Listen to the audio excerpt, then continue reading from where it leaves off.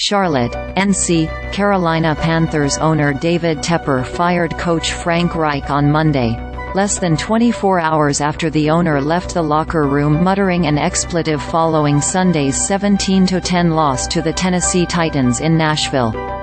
Reich's tenure at Carolina ended with an NFL worst 1-10 record, including an 0-6 mark on the road. He also becomes the first NFL head coach since the 1970 merger to be fired in back-to-back -back seasons after last year's dismissal from the Indianapolis Colts. I met with Coach Reich this morning and informed him that he will not continue as head coach of the Carolina Panthers, Tepper said in a statement. I want to thank Frank for his dedication and service, and we wish him well. Special teams coach Chris Tabor has been appointed as interim head coach, while offensive coordinator Thomas Brown will assume play-calling duties with help from senior assistant Jim Caldwell. Tepper has scheduled a news conference for 10.30 a.m. ET Tuesday. There will be no team availability Monday.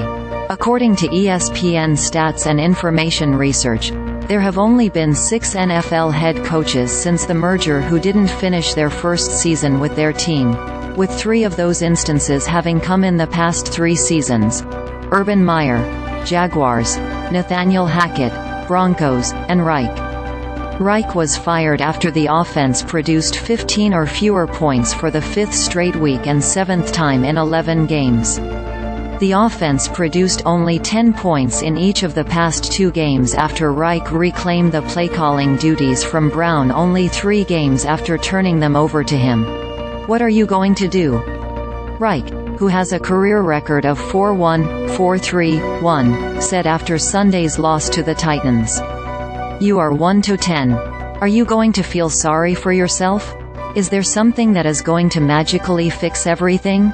No. After Sunday's game, Tepper left the locker room shaking his head in disgust and was heard by multiple reporters yelling, F.